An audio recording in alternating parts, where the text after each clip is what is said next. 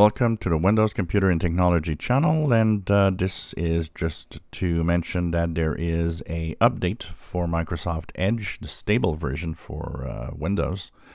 Uh, it's not related to security or anything. Apparently there were a few bugs that people reported that were about to be fixed. So if you go into the upper right corner, three dots, go down to settings, no help and feedback, sorry and about Microsoft Edge, you will be pushed to version 103.0.1264.62.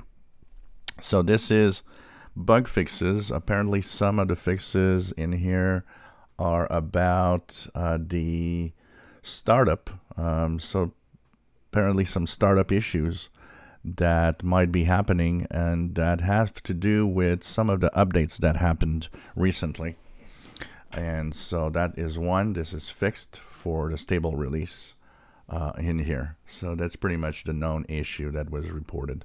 So um, for the rest they say there was um, various bugs and performance issues. So if you had some issues if you had startup issues or even Microsoft Edge problems you can always check that out. It will update itself automatically anyways if you don't do anything. But uh, 103.0.1264.62 is the latest version of the Microsoft Edge browser stable.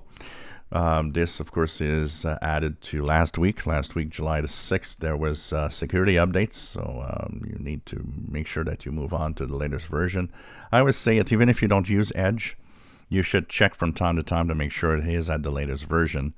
Because even though you are in, you know, you have a default browser, sometimes, sometimes it might happen that that default browser is kind of bypassed if you want.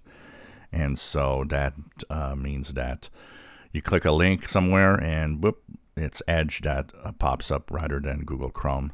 So uh, check it out. Make sure that you have the latest version. It is the first line of defense to your internet as you are browsing.